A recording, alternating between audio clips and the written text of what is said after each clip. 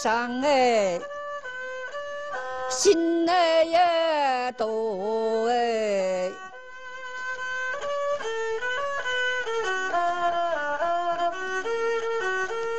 郎郎哎，喜哎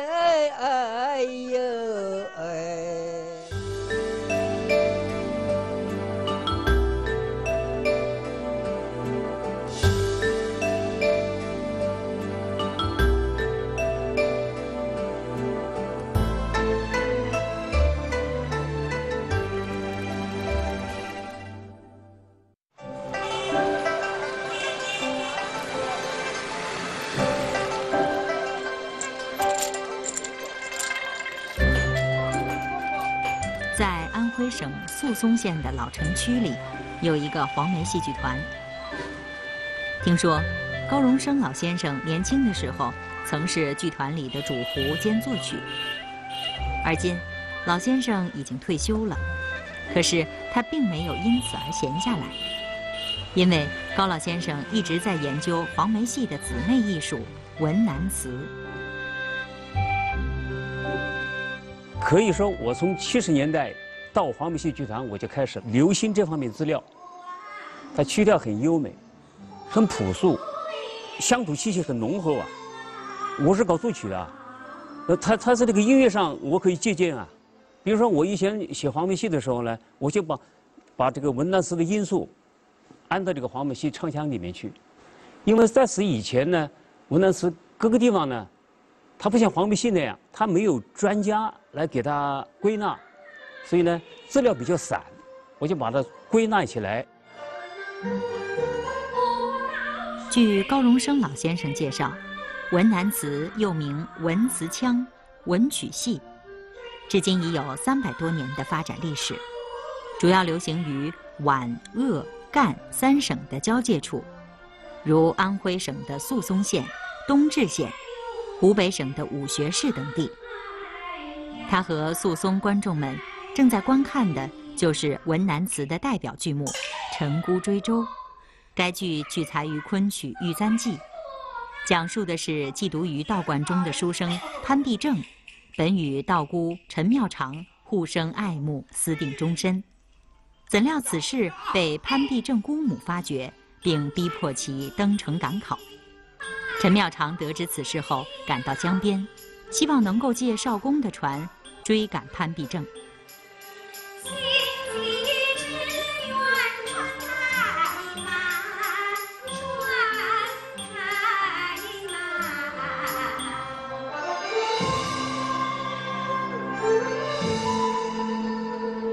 高荣生老先生从二十多岁的时候开始关注文南词，四十年间。他陆续收集整理了众多有关于该剧种的资料，这其中有很大一部分都是老先生从一个名叫左坝的地方获得的。他说，那里可以称得上是宿松县的文南词之乡。山那中哎，夜来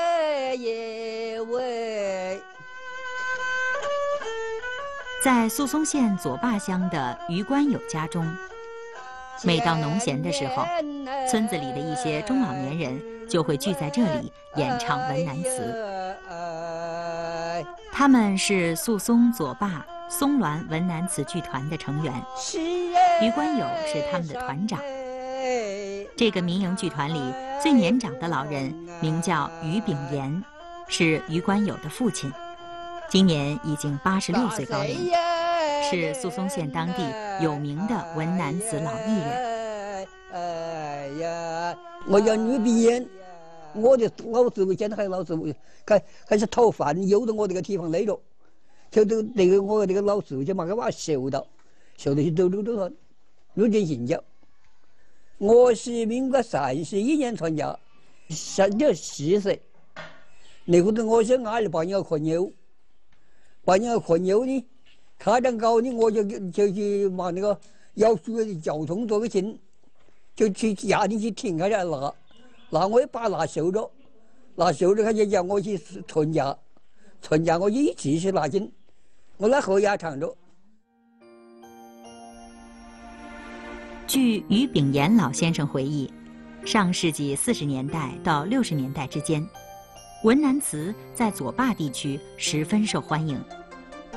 我的这个地方，因为人来的话，你一场就起码是一千多，一场就一千多。我的红河岭斗饭场呢，唱十五场，每天都有录，一天唱两场，一场压一场，嗯，每天都有那那人，我的温度像这几个天你看。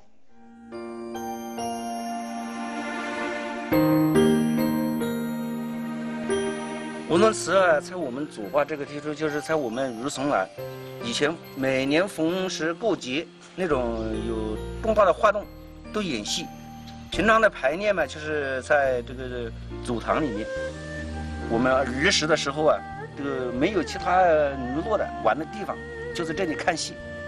戏台嘛，就在就在这个刚才这个说的那个那个坡梯旁边，啊，那个成立戏班过后就有戏台。逢年过节，其他的这个整个我们这这一块左坝提出的这个叫下午章，所有的这个村庄的这个群众都在这里看戏，都在看戏，哎，那个时候非常兴盛。在左坝余家，至今仍然收藏了许多文南祠的老剧本，这些都是于炳炎老先生积攒下来的宝贝，即使有人前来索要，他也从不曾割舍。他们为文南词的研究工作提供了参考，例如，高荣生老先生的一本书中便引用了其中的部分资料。在那本名为《文南词声腔艺术》的书里，高荣生老先生为文南词梳理出一个详细的历史发展脉络。文南祠的它这个历史沿革，我把它分为三个阶段，就是第一个是走唱阶段。第二个就是坐唱阶段，第三个是戏曲阶段。走唱阶段是怎么回事呢？因为我们这个地方是在长江边儿，经常就发大水，老百姓就逃荒了。逃水荒的过程中呢，好多艺人呢，他就沿门乞讨，就卖唱。他这个时候拖着鱼鼓，可以打，对吧？这个时候还有接板，是吧？旁边一个人拉琴。它这个形式比较简单。时至今日，宿松县非物质文化遗产保护中心里还保存着一只鱼鼓，其鼓身约二尺多长，以竹筒制成，筒端蒙皮，演奏时用手指拍打。这是这个走唱阶段，以后呢就进入这个酌唱阶段。酌唱是怎么回事呢？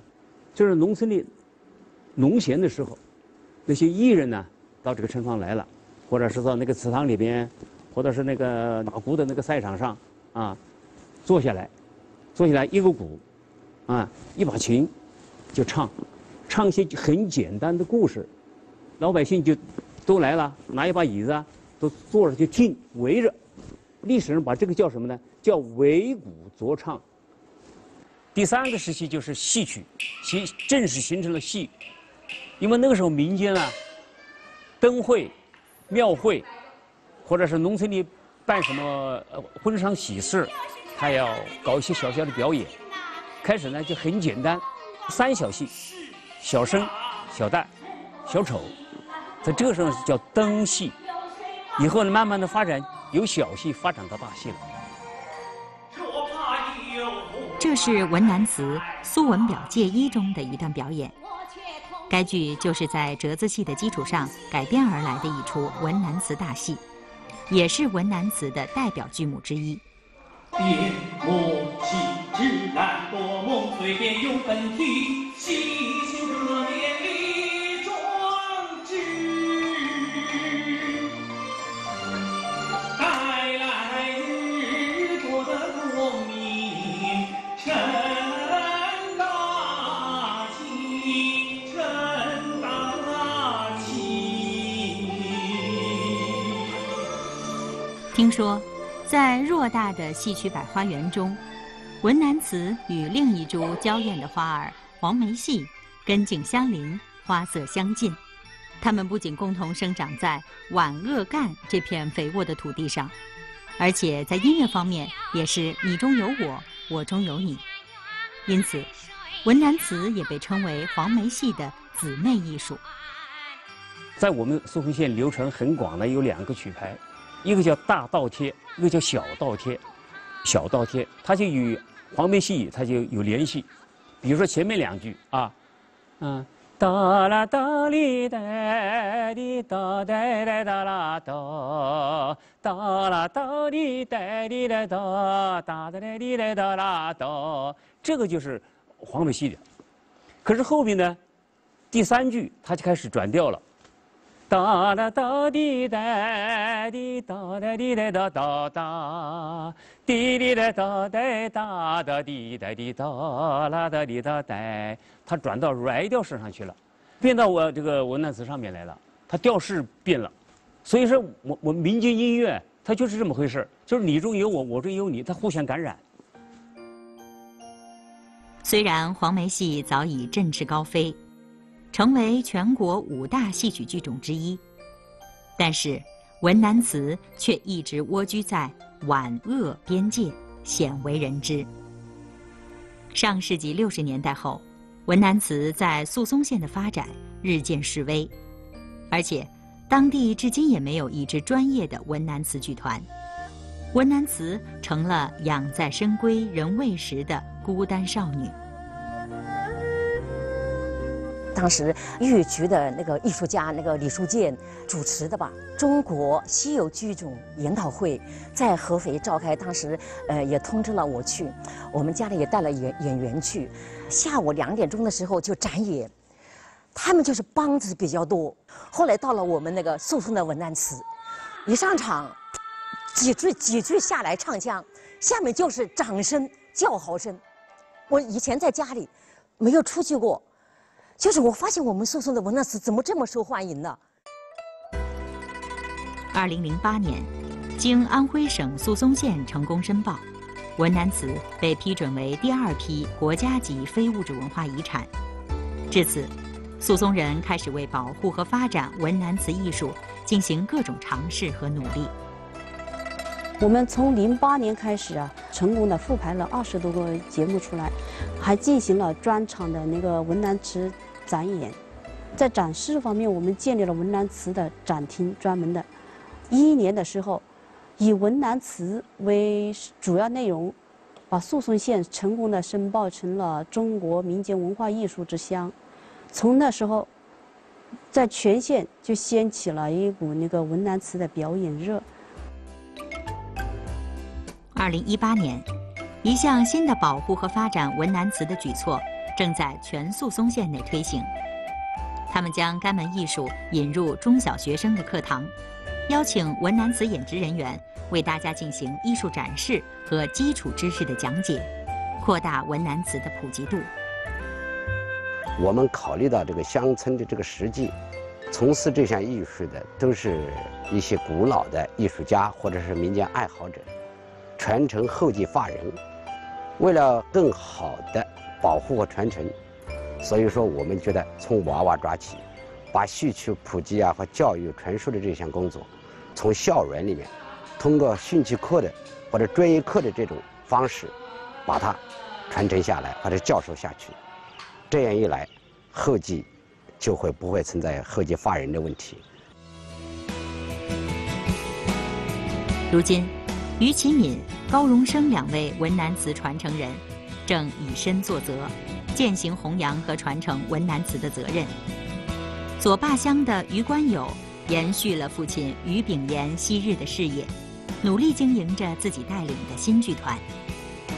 宿松当地的文化部门也在继续探索发扬文南词的新举措，他们正心照不宣地为文南词的明朝而努力。